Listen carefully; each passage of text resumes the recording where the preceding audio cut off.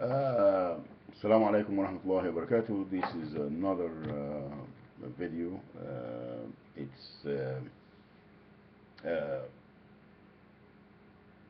I want to do that for charter communication. It's real wild, you know. The and again, it's done millions of times, to a lot of us uh, people that they don't have the right to live without being frauded, intimidated, uh, uh, put in the system, I mean, jailed, imprisoned, uh, go to all different program like uh, it, it, the one that I, it was really, I, I, I thought, oh man, that's great. Opportunity knocks. and when I came out, I went there, the opportunity knocks, knocked me in my head. And I was unbelievable, unbelievable what these people, you know, they think that they, uh, they think that they really sold us. Unbelievable. Uh, they, uh, charter communication, uh, first, they uh, explained to them that I have no phone because, again, they wouldn't uh, give me the lifeline which is a federal law. Every home has to have a phone for emergency. Well, when they did that, I think they did it so they can track. you want to track everybody. Since 2010, you remember? They wanted to know where we are. You know, you have no right to live. Uh, you know, if you, you you got to be in uh, in in one of the settlement or or or, or camps. Uh, and you got to have a number. Uh, they have to locate you whenever they want to uh, abuse and use and get the funds in our names and put you a certain program. So you you know. Uh, so I called the FCC, uh, the Federal Com Communication Commissioner, and the fellow that was there, he was about to hang up on me and uh, tell me he, he couldn't understand, and I'm loud and obnoxious.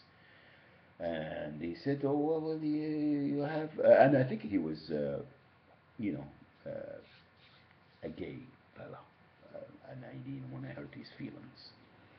Uh, but we we made we made up the end of the call because I told him you have to understand that I am frustrated because you know uh, I think most of uh, people working for such offices they are not get paid enough.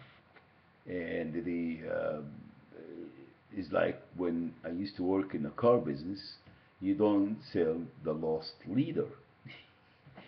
The ad, the ad car you don't sell. And if you do, then you got problems. This is the same thing here.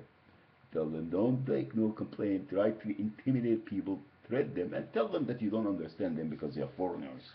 Uh, his name is Muhammad or Jose or or or, or uh, Olga or some uh, or Kanisha. But anyway, the oh he has an accent. Okay, well, I couldn't even understand the southern people, and they speak English. You get to go to the barn and get my horse. Anyway, so the I, I couldn't under I, I need a translation translator when I go there interpreter. But anyway, and uh, finally uh, I persuade him uh, to take the complaint. And uh, he said, "Well, go online and do it." I said, "I I don't want to go online because I get dizzy when I go online." yeah, I get dizzy. Like I don't know what I'm doing, and you know I'm not a computer savvy person. Uh, that's what uh, Mr. Avilas told me in 2000 and, uh, 2008. Yeah, Mr. Avila said that you you you're not going to get this position because you are not uh, computer savvy. Uh, and I believed him. And Mr. Ron Pierce agreed with him. And uh, he told me, uh, good luck, Mohammed, or Mo, good luck to you. I said, no, Mr. Pierce, good luck to you. And I think now he needs the good luck. Anyway, uh, uh, that's it. Oh, what else? That um, oh, the Department of Social Services. And now I am with Medicare, and I can get no transportation because I refuse to sign with the HMOs. Uh, uh, yeah, Central Health uh, Medicare Plan, HMO. I don't want any of these uh, HMOs. I'm allergic to them. I like the Medicare. Uh, even though they don't want to give me the silver sneakers, you know, I can go in the gutter and you know walk there. That's fine. I don't have to go to the gym, and I can go to the river or the the, the lake or the stream or anywhere, and I can go and play in the water swim. I'll go to Santa Barbara.